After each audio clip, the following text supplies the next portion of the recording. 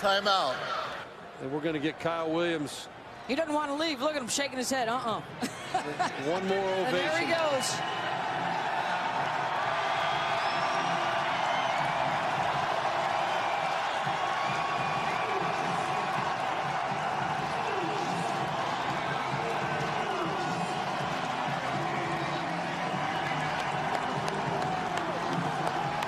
As the tears flow, hugs from his coach. He also had a nice moment with one of his opponents, Cameron Wake, the 10-year veteran for Miami. They've been going at each other in the division.